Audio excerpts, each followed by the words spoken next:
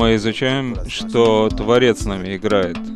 С нами играет, имеется в виду, что Он нас, как детей, обучает законам следующей ступени. Поскольку мы находимся на ступенях неживая, растительная, животное, человеческое, и мы должны вырасти, и он действует таким образом. Это называется игрой.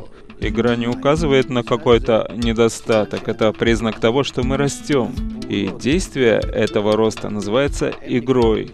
Это может происходить в 50-летнем возрасте, когда человек растет в ощущении, понимании, восприятии, и называется, что он находится в процессе игры.